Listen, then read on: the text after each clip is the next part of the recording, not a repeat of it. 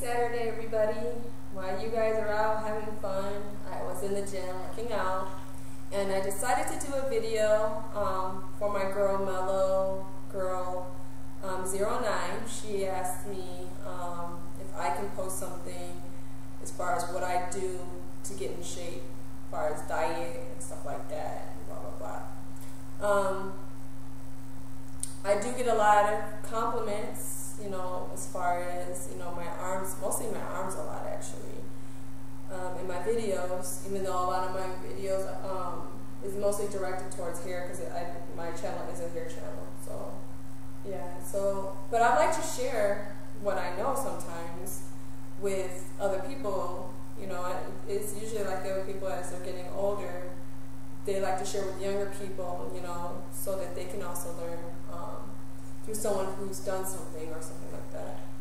So yeah, so you know, it's always helpful to learn something from someone. Um, for me, it started back. I've been training for ten years, but really been training on a fitness level. I would say for two years now, and I've always been thin. Um, I, my nickname growing up, my dad called me Skinny Minnie. So I've always was really, really thin, and I used to get picked on because you know, I had really stick, I had stick legs, I had a big butt, um, and then I had nothing up here. So, you know, the great part of working out is you're able to sculpt your body any way you want. Wherever emphasis you put on one, or you can put it on the whole body. You know, men like to put it up, up on their, low, their upper body and kind of limit their lower body but I like symmetry, so I work on my whole body. Um, so yeah, it started 10 years ago when I first met my husband. I wasn't, I was into health because my first husband was into um, health and wellness anyways, and he also worked out. But I really never really worked out because I, I felt because I was thin, I didn't have to work out, which was really stupid because just because you're thin doesn't mean that you're in shape. So when I met my current husband, um, it was then I when I really started taking it to a whole another level. It started when I got pregnant with my second son. I went from um, 119 to 167 in my pregnancy, and I was I was carrying a lot of weight from you know I'm five six and a half and very small. So you know, I was, after I had him, I actually had postpartum depression, and also, too, it took me a very long time, because um, he, he was my second child, to lose the weight. My first child, she was two pounds, eight ounces when she was born, so I really didn't get really big, but I think sometimes, too, um, with your first pregnancy, a lot of times um, you won't get big like that. Not, I mean, some people do, but for the most part, some, a lot of times you'll be all baby weight, and that's what I was with my first child. So when I had my son, I carried him all in my hips, my butt got big, my stomach got big, and I really didn't eat bad because um, I ate a lot of like Subway. Subway was my thing when I was pregnant with him. So, but also too, I had a preemie. My my daughter was born three months early. She was two pounds eight ounces, and I was considered a high risk pregnancy with my son. So I did everything possible to um, um, make sure I didn't have, you know, a low baby weight, you know, for my son. So um, he still was considered small. He was five pounds eleven ounces, but I did eat a lot better and healthier. So yeah. So long story short, I went from 119, a size almost a zero size three to a size 9, 10, which still isn't, that's actually kind of considered average. So, but for me, it wasn't average. So I wanted to, you know, you think that you're going to have your baby and you're going to go back to your old clothes, and I didn't do that. I didn't bounce back like I did the first time. So I had postpartum depression, lost the weight probably almost a year later, but I lost it very unhealthy. I lost it because I was um, I, had postpartum depression. I didn't even know what was wrong with me. And for two, um, I was depressed because you know I was living with my in-laws, which I didn't really know very well, and I wasn't getting along with some of the siblings of my husband. So it was you know I had to live with them in the same house while he was away starting a career, going to school. And I had a six month old baby and I had postpartum depression. So I wouldn't really eat that much. So that's how I went from one I went from 167 to 107, which was really under my weight. You know, I was already little at 119, so can you imagine what I was like at 107? So I started noticing when my husband got back. I mean, he's always been into fitness. I would watch him as I sat on the couch, come home, and just feel relaxed and his muscles looking pumped and everything. And I asked him one day, said, Can I go to the gym with you? And he just said, You want to go to the gym? And I said, Yeah, I thought he was going to say no. And he was like, Okay, I'll just add you on to my membership. And then I've been going ever since. This was back in 1996. But I was already thin, you know, so when you're already thin, it's easier to see your muscles, you know what I mean? So um, I've been training like that ever since um, until 2007. I then um, gained weight. I went from one, one uh, normal 119, 120 to um, 140, which is kind of big for me because I don't really think it's big, but for me it was big because I couldn't get into my clothes, and I had a lot of clothes.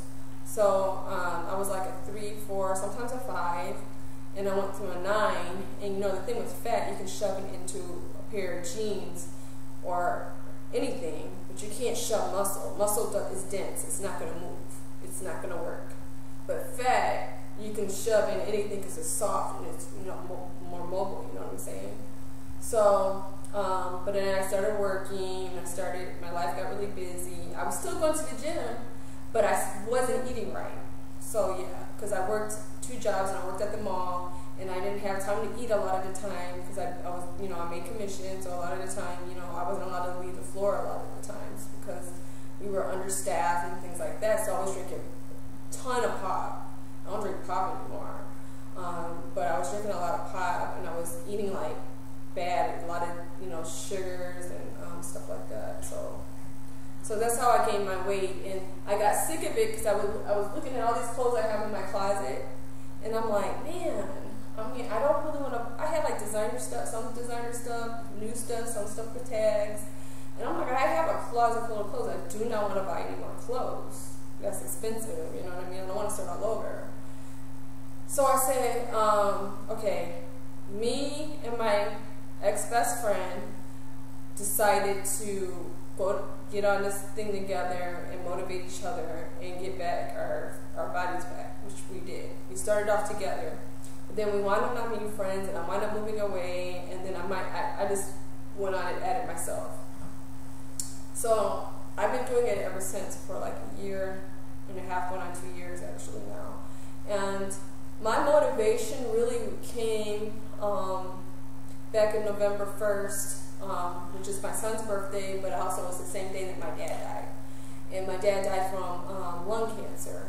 But he didn't die from the cancer because he had very little cancer. He died from the pneumonia that sometimes these patients get after they get such a huge removal of the lung um, removed.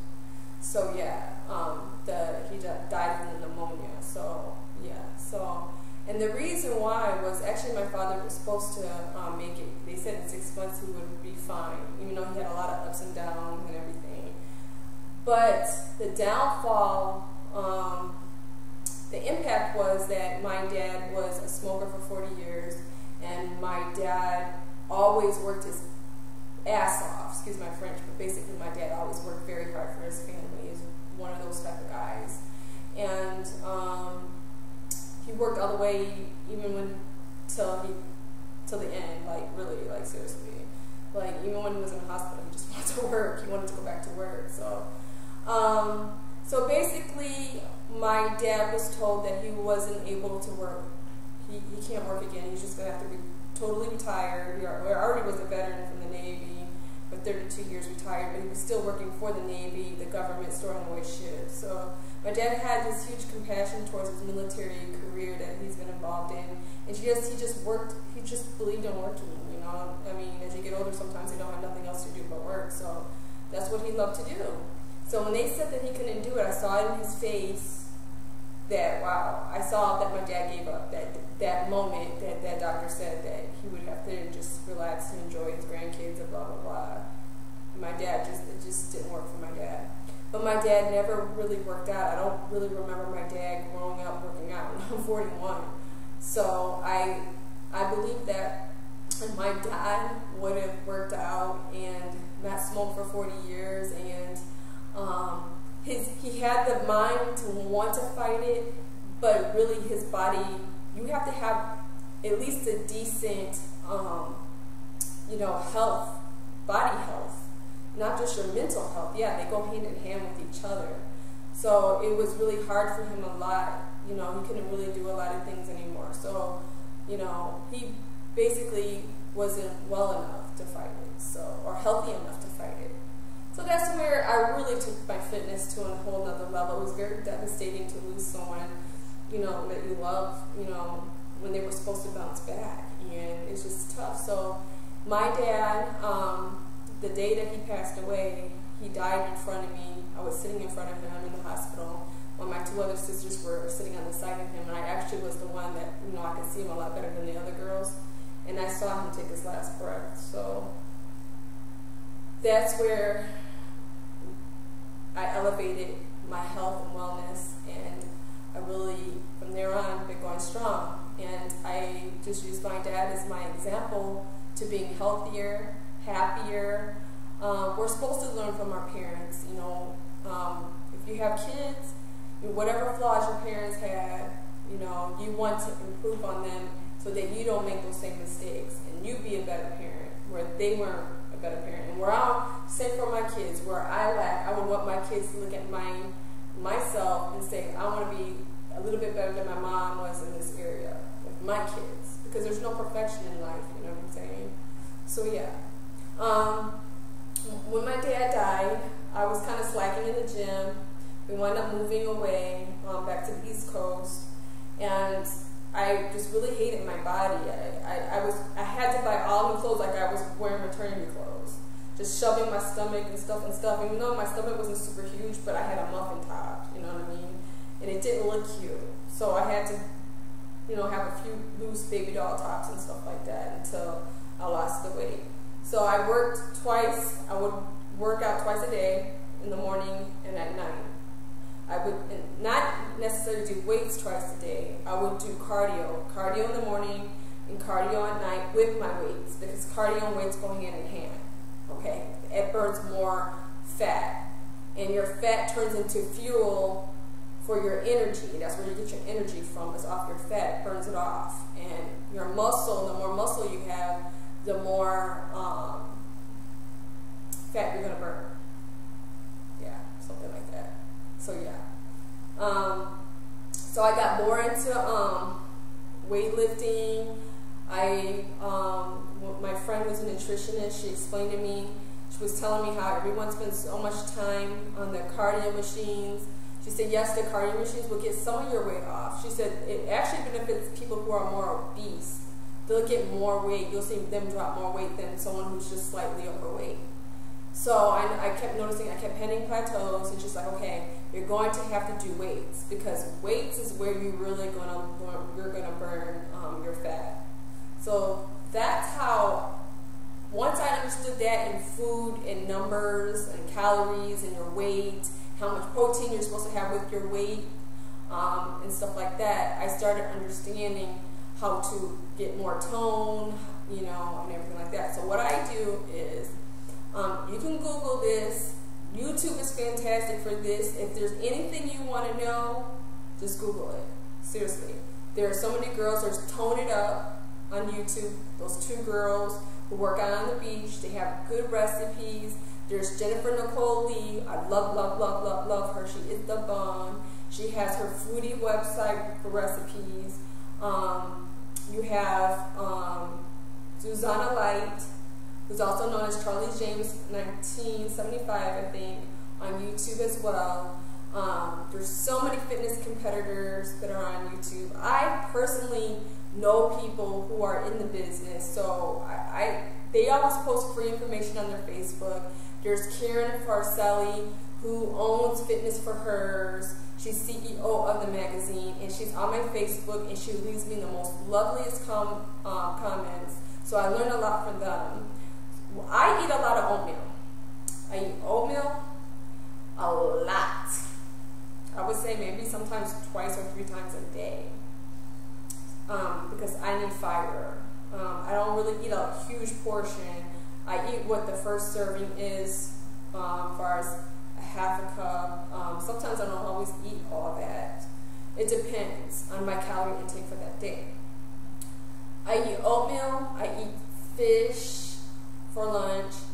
I eat um, spinach salad, fish and spinach salad, because fish really helps lean you out. If you're looking to be to lean out, fish is really good for that. I eat tilapia because it's inexpensive, and you can get them in the vacuum bag at um, Walmart, um, Sam's Club as well, Costco, um, Kroger, whatever your grocery stores are. But I get mine from Walmart because I like how I can get a four pound bag, and they're all pre vacuumed, so I think that's pretty cool.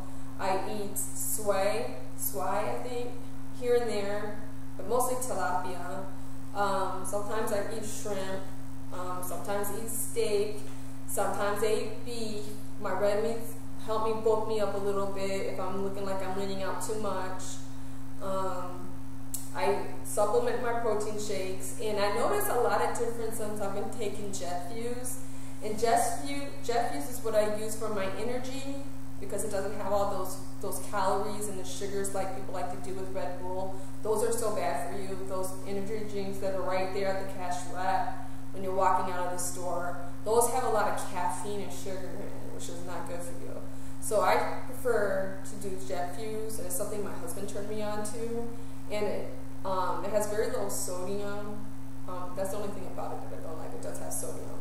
And I've noticed it is good for recovery so when you're done working out, not only, you know, you want to have, it's like my pre-workout, post-recovery. So um, that's really helped me out a lot. I can't believe how much it's helped me out, my muscle development and for leaning out and stuff. So yeah, I I don't eat super healthy. I'm not. I'm gonna be honest with you. But the cool part is because um, I'm healthy and I don't overdo it. Like I always have my cheat days like Saturday, like a Friday, Saturday, Sunday. I pick one day where I have a cheat day. Sometimes I'll just have a corn dog um, during the week. Sometimes I have it right before I go to the gym. But I know my calorie intake and my numbers, so I know how to manipulate it. I know, okay, I'm gonna do my cardio, I'm gonna do my weights, but I do a lot of weights. I noticed since I stopped doing as much cardio and I did more weight, I do more weights now. I noticed that I've been leaning out a lot more than I did when I was so stuck on cardio and just mostly doing cardio and not doing my weights. So I'm stronger, I'm healthier. I would just say that for now because the ones who are asking me this are very new to fitness or, you know, they're kind of confused about it. You know, you don't want to just go into the gym and you're not eating healthy because you want to have energy to burn in the gym. You want to be able to last throughout your workout, so that's why your breakfast is super, super, super important. You know, have a protein shake if you're not really hungry in the morning. Have a, sometimes, you know, if I'm waking up early, I'm not really hungry. I'll make um, my um, ONS optimal nutrition. I'll make um, one scoop of protein, which is like 23 or 24 grams of protein, and I mix it with like a cup of water. I put a little bit of um, it's not milk. It's that that um, well, it's like almond milk and yeah, almond milk. I put a little bit of almond milk in it, and I put my flaxseed oil, which is for my fat, because you have good fat and you have bad fat. Good fat is like olive oil, flaxseed oil, you know, um, things like that. Um, so I put my flaxseed oil. I just squeeze some flaxseed oil from the bottle in it, into my shake, into the blender and then I put um, a banana. Sometimes I have strawberry. Sometimes I even put my oatmeal.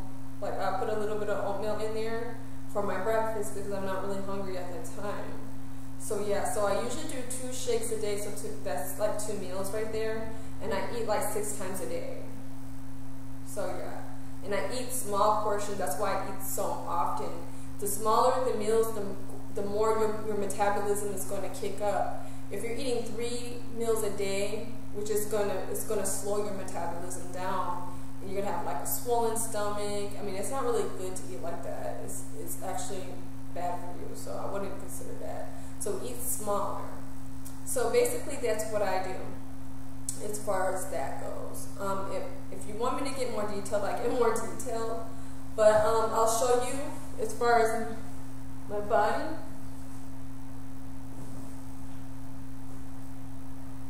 I'm not super muscly.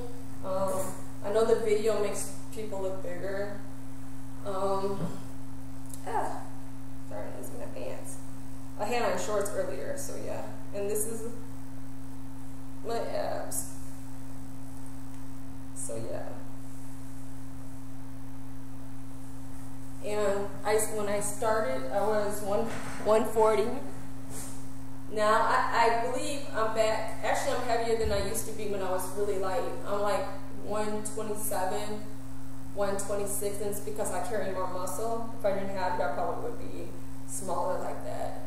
And my legs are pretty, I work hard on my legs because I had stick legs, so yeah.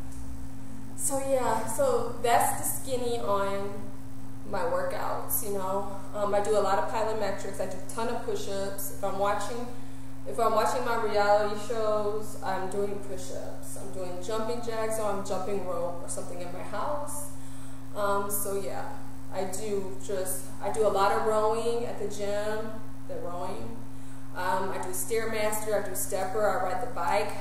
Bike has been leaning me out big time, especially in my abs and my um, and my legs and my thighs. So yeah, so don't underestimate the bike, but you gotta go up and down and weight, up and down and weight.